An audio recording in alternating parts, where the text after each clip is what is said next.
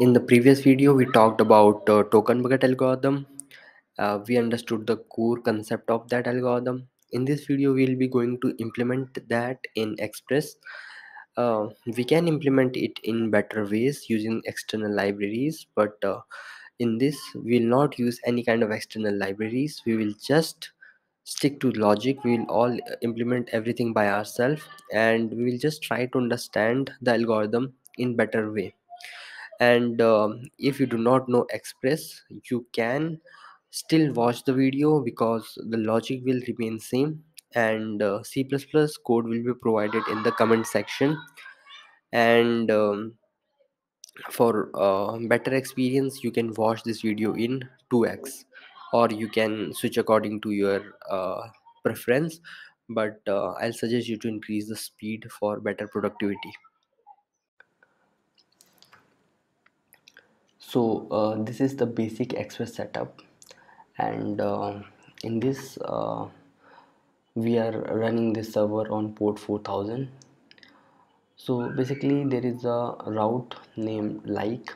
And on this route um, a message is served a json is served. And uh, inside this json a message is served which is telling that post liked surface successfully. Now uh, you have to understand it like this. This route is like clicking the like button and this json serving is like actually implementing the like functionality behind the scene in the in the back end. So when you click the like button a lot of things happen inside the backend right? So because uh, the database is updated and uh, such things are done so uh, imagine this route is like clicking the like button and this is like uh, doing functionality in the backend. So this server is running on the port 4000 so uh, this is uh, port 4000 and uh, if we will if we will go to uh, the route like we will see the post liked successfully which is just like implementing a like functionality but there is a problem. Uh, any number of times we will press the like button. So uh, if we if i'm refreshing it's just like making another request to the server and it is just like pressing the like button. So as much as i'm pressing the uh, refresh button the like button or the refresh button in this case uh, the post like successful will will always be there. That means I can like any number of posts in a second. So as a human I cannot do more but uh, some uh, bad guys can install some bots which can like lakhs of posts in a second. And that is bad for our system. It can make our system system's life hard. So to prevent that we have to implement the rate limiter so uh, what is happening in this case is there is a like functionality there is a like implementation. As soon as I'm uh, we are pressing the like functionality basically we are routing to this route. This functionality is executed. There is no rate limiter in between. So uh, in this case we have implemented the rate limiter. Now I'll explain how it is getting executed again this is the basic express setup. And we are running it on port 3000 so like previous case uh, this is the like functionality. Uh, this is the uh, this is the like button. Consider it as a like button. Uh, consider this as a like functionality. And in previous case there was no rate limiter. That means we could have um, pressed the like button as many times in a second as we want. So we can uh, implement some bots that can uh, execute that like buttons lakhs of time uh, hundreds and thousands of times. So that is not good for the system. So to prevent that we have rate limiter middleware. So this rate limiter middleware sits in between this like button and this functionality of like. Actually this is not button. I'm again and again telling this is a route and this is uh, the uh, on this route what will be served. It is that. But uh, just to understand uh, the concept of token bucket just think of it as a like button and this is the functionality of like. And in between there is a rate limit middleware. So now how this rate limit middleware is uh, executed let us see. So uh, first we have token remaining. That is how many tokens are remaining? That is uh, as we have already seen we had a bucket and in bucket there were some tokens. So how many tokens are remaining in that bucket? This variable is telling. And uh, what is the initial value? It is equal to token per interval which is 5 so as we want to implement a functionality where we can do only 5 likes per second so 5 will be the token remaining. This is the initial value. This is the last refill time. When is the last refill done? So this is done just now. So we will do date dot now. And what is the interval? Interval tells us after how many time after how much time we have to refill this token. So as we have already seen we have a token bucket. In that token bucket we had some tokens. And after some interval of time that token used to get refilled to the top. So in this case after 1000 seconds that token bucket will be refilled with 5 tokens. So again I'm explaining. This is token remaining. The number of tokens in the bucket which is equal to 5 initially. Interval tells after how many times the token remaining will be refilled. Yeah so now uh, we are inside the rate limiter.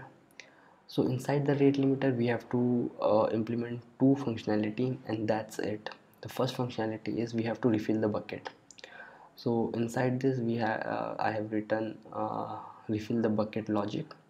And uh, the second thing that we have to do is if token is available allow the like else discard. So as we have already seen that the like request will only reach the server if there is available token in the bucket. Token is like a pass uh, a password for that like thing like request if it will not have a token it will not be able to reach to the server. So token is required. So if token is available we will allow the like else we will discard the like. This logic is inside this. So let us see how this is done. So uh, as i have already told we have to refill the bucket after every second in our case. It can be anything but in our case after every second we have to fill five tokens in our bucket so um, there uh, we I have implemented it like this. Um, this is current time and time elapsed. Time elapsed is equal to current time minus rate uh, last refill time. So if we will subtract this current time by last refill time we will get is one second have passed or not? If one second has elapsed or not since the last refill time till now one second has completed or not. If it will be completed it will be more than interval. So if current time is minus last interval time will be greater than interval. Interval is 1000 uh, in our case 1000 means 1000 millisecond. We have to write in uh, time in terms of millisecond. So if uh, there is 1000 that means one second. So if time elapsed is more than one second you have to implement the refill the bucket logic. And how you will refill the bucket? So the token remaining. This is the token remaining. That is the number of token that is remaining in the bucket will be equal to token per interval and that will be 5 so uh, you will just fill the bucket with five tokens. And last remaining time will be the current time. Last refill time will be the current time and uh, if token is uh, so now um, like functionality is uh, so now if i'm if someone is pressing the like button we have to decide if we have to pass this like button to the server or not. So it will only pass as I've already told many times that it will only pass to the server if token remaining is greater than 0 because we will need one token for every request so if token remaining is greater than 0 we will use the token. But it means by using the token is token minus minus and after using that token we'll do next. What next means is go to the next thing. Basically we'll press the like button rate limiter and if it says next we'll go to the next part and this like functionality is implemented. This next simply means rate limiter go to the next part. So we went to the next part and implemented this thing. But if token remaining is not greater than 0 that means there are no tokens available. And since there are no tokens available we have used all the tokens. Now we have to wait for the interval. And as um, after the interval there will be refill thing that will happen and after that refill thing we will get a uh, token again. And uh, after getting token after getting token only then we will be able to move uh, do more likes. This is how uh, the token bucket is implemented. Now let us see in practic practice. So uh, in the earlier case as much uh, so uh, I'm uh, pressing refresh button here. Refresh is just like making a request.